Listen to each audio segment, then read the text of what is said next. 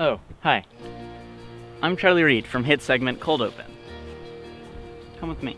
This week, the Cold Open has run out of ideas. And you have this very special opportunity to, to submit your very own transcript idea. We'll then pick our favorite one, and then you will get to make it. That means you have four days to write, produce, direct, star in, and edit your very own transcript segment. But now you need a crew. We will assign you three random students from NHS who are very busy.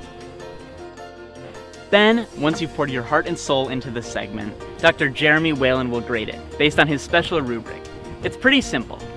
All you'll need are J cuts, L cuts, 30 to 35 sets of B-roll, wide, close, close, close, and a blurred background. Um, then, but you'll also need lower thirds. And, and, the, and the most important part is whether or not Jeremy likes it. And remember, this will affect your GPA. So get thinking.